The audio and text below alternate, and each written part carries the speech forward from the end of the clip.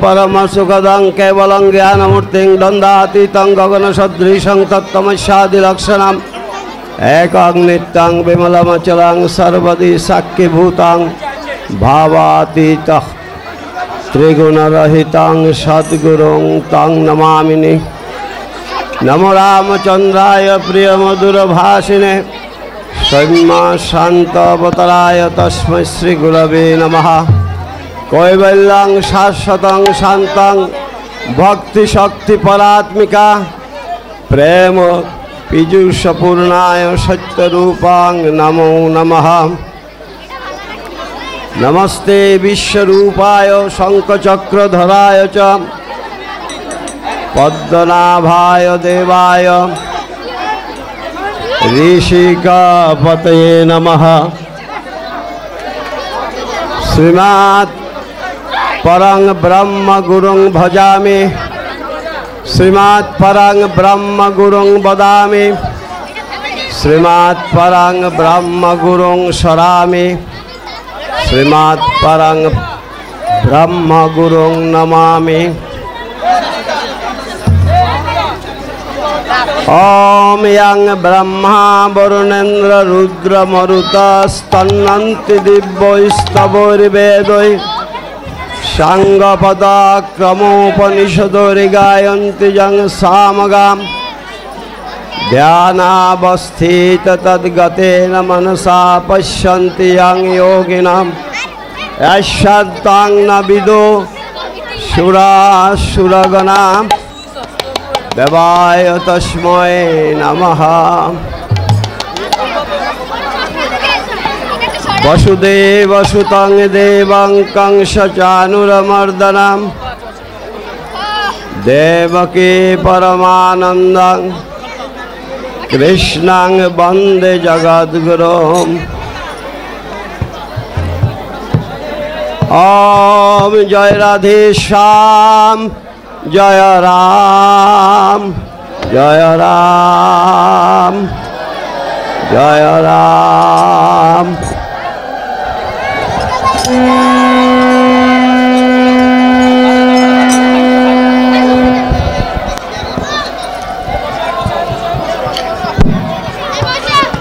কুমিল্লা রাসস্থলী আশ্রমের সর্বপ্রধান উৎসব ঠাকুরের নির্দেশ অনুযায়ী এই রাস উৎসব। এই উৎসবে বিভিন্ন স্থান থেকে আগত ঠাকুরের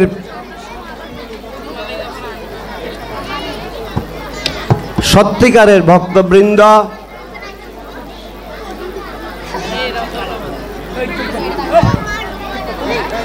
মাতৃমণ্ডলী পিতৃমণ্ডলী যুবশক্তি দাদু ভাইয়েরা।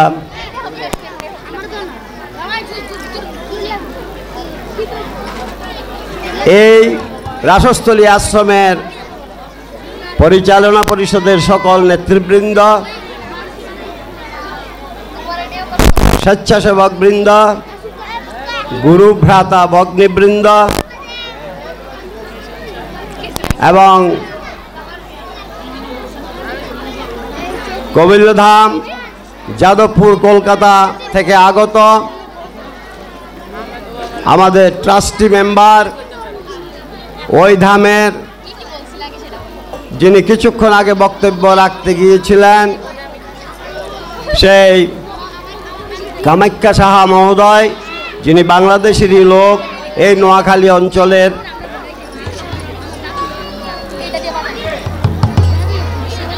আমাদের আমার সহকর্মী বৃন্দ, তোমরা সকলেই পরমারাধ্য গুরুদেব, শ্রী শ্রী রাম ঠাকুর তথা কৌবিল্যনাথ তথা সত্যনারায়ণ দেবের এবং এই রাসমঞ্চের অধীশ্বর, তার কৃপা দৃষ্টি সকল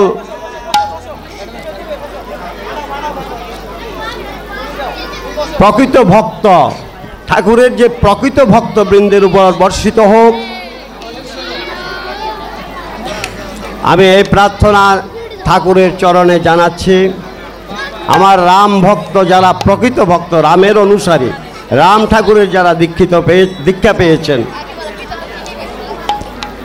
সেই ভক্তদের উপর আমার সেই পরম করুণাময়ের আশীর্বাদ বর্ষিত হোক। এই প্রার্থনা জানাই। আজকের এই অনুষ্ঠান বড়ই কুমিল্লার গর্বের অনুষ্ঠান। কিন্তু বারে বারে অসুর কর্তৃক আমরা আক্রান্ত হয়েছি, অনুষ্ঠান করতে দেওয়া হয়নি। মনে করলাম এবার হবে সেই একই অবস্থা। যা হোক তাদেরকে ঈশ্বর সদ্বুদ্ধি দেখ। ঠাকুরের চরণে শুধু এই কথাই বলব। আমি আজ রাম মণ্ডলকে দুই ভাগে বিভক্ত করেছি, প্রকৃত রাম ভক্ত এবং অসুর রাম ভক্ত। যারা প্রকৃত রাম ভক্ত, তাদের উপর ঈশ্বরের আশীর্বাদ বর্ষিত হোক। এই রাস ঠাকুরের নির্দেশে এখানে হয়েছে। এর আগে অধ্যক্ষ ব্রজেন্দ্রলাল বন্দ্যোপাধ্যায় মহাশয়ের বাড়িতে হতো। তখন প্রথম মহন্ত মহারাজ কবিল্লধামের হরিপদ বন্দ্যোপাধ্যায় মহাশয় উপস্থিত ছিলেন। পরবর্তীকালে পরবর্তীকালে আরও অনেক ভক্তের বাড়িতে হয়েছে। শেষ পর্যন্ত দ্বিতীয় মহন্ত মহারাজ শ্যামাচরণ চট্টোপাধ্যায় মহোদয় কর্তৃক এই ধামে সেই ঠাকুরের নির্দেশে এই রাসমঞ্চ প্রতিষ্ঠিত হয় এবং রাস পূর্ণিমা পালিত হয়ে আসছে।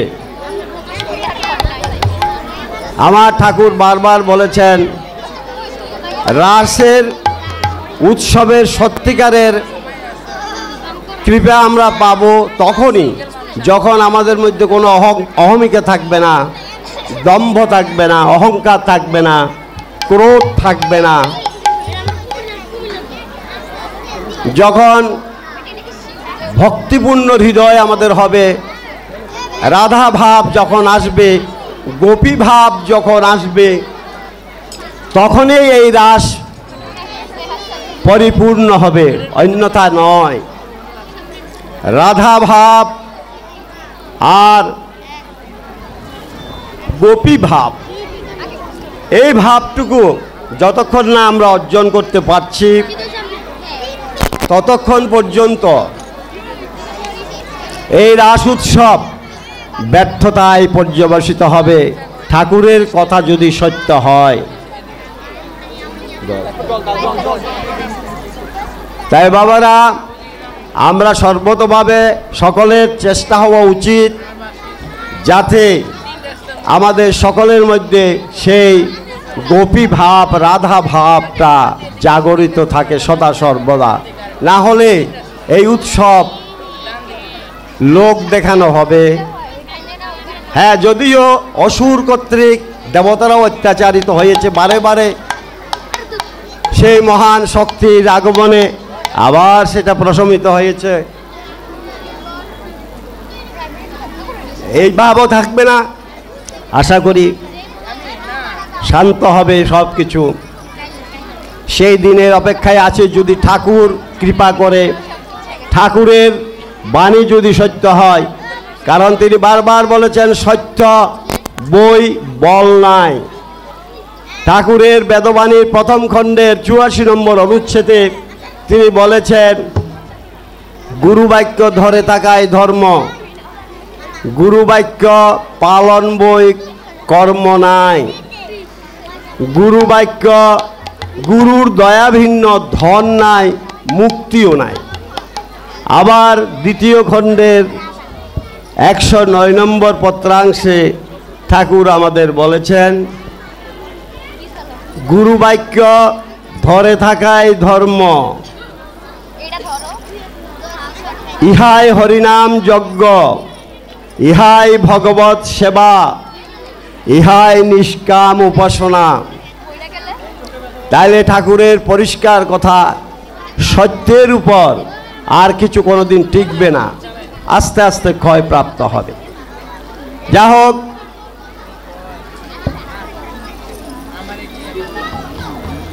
আমাদের রাজা পরীক্ষিত মহাভারতের কথা।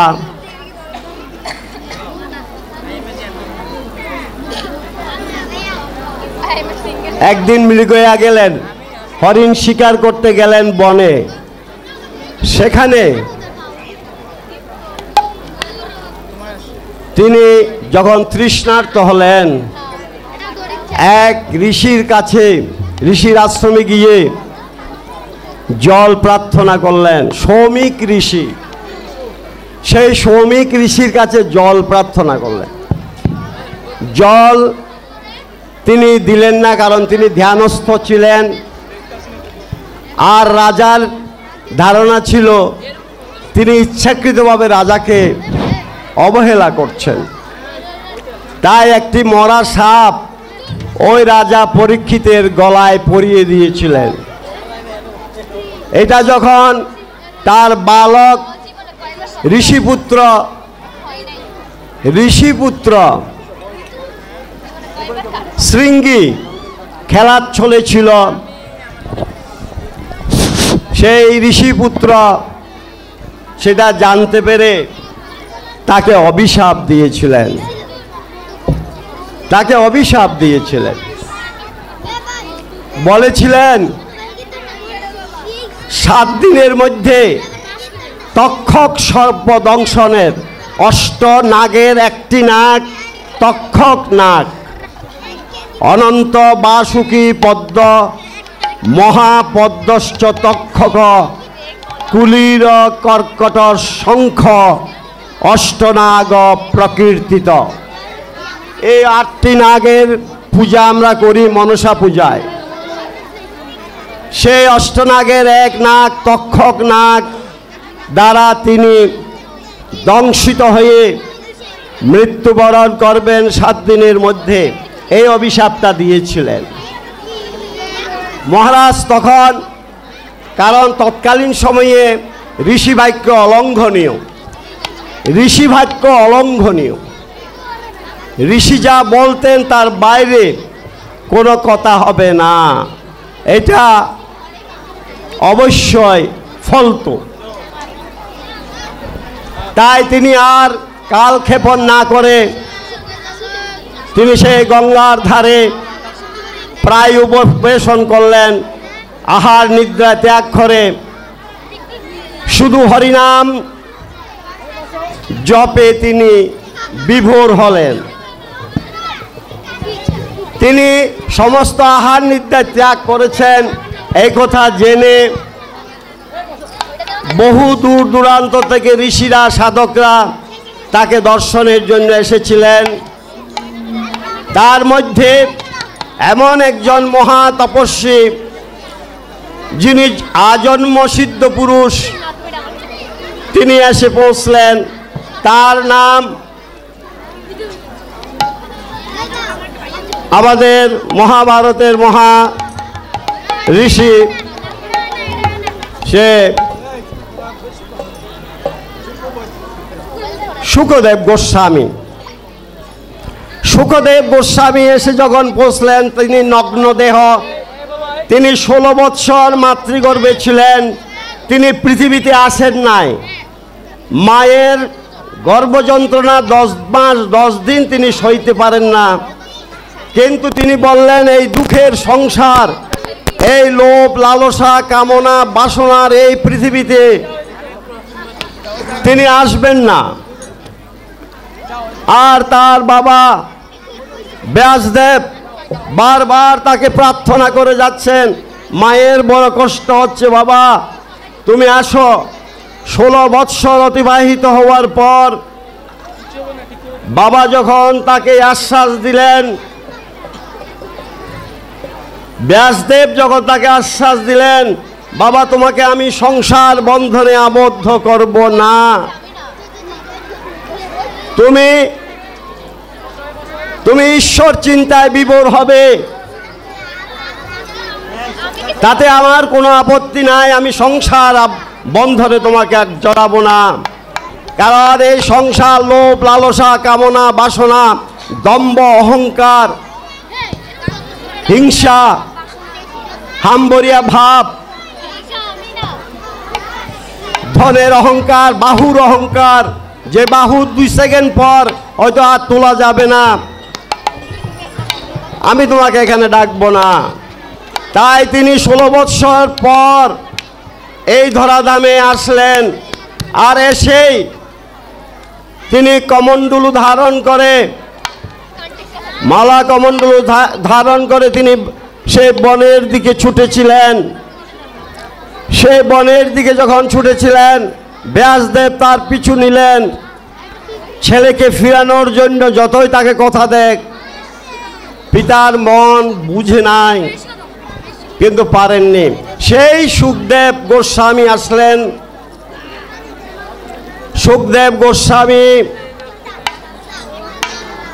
তাকে দেখা মাত্র সবার সব ঋষি, মুনিবর, সাধকবর উঠে দাঁড়ালেন। এবং তাকে বসার আসর দিলেন। তখনও তার নগ্ন দেহ।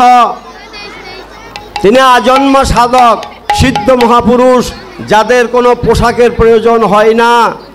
আমাদের পোশাকটা হচ্ছে আমাদের অহংকারের, আমাদের লোভ, লালসা, আকাঙ্ক্ষা, কামনার আবরণ। আর যখন এগুলির ঊর্ধ্বে যিনি যান তখন এগুলি তাদের দরকার হয় না। তাকে মহারাজ পরীক্ষিত অনুরোধ করলেন, বাবা, আমি জানি আপনাকে এই বৈষয়িক জীবনে রাখা যাবে না। তবুও আমি যেহেতু আমার সময় একেবারে সংকীর্ণ, অভিশাপগ্রস্ত এই এই দিনজনকে আপনি রক্ষা করুন। যতদিন আমি টিকব, ততদিন যেন শুধু হরিনাম, কীর্তন আমি শুনতে পাই আপনার কণ্ঠে। তিনি সেখানে এই ভাগবতের নবম স্কন্ধ পর্যন্ত বললেন, দশম খণ্ডে রাসলীলা ব্যাখ্যা করলেন। রাসলীলা আমাদের আস্বাদনের কোনো শক্তি নাই, এখনও কুমিল্লাবাসী সেটা অর্জন করে নাই। বা করলেও তাদেরকে হয়তো কোনো অশুভ শক্তি পিছন থেকে বাধা দান করছেন, তাদের শোনার সুযোগ দিচ্ছেন না। যা হোক, এটা কালে কালে ছিল, আছে, থাকবে। এটা নিয়ে বিমর্ষ হওয়ার কিছু নাই। তবে এইটুক বলেছেন, মা দুর্গা চণ্ডীতে এবং গীতাতে ভগবান শ্রীকৃষ্ণ দুইজনেই বলেছেন, মা দুর্গা বললেন কি?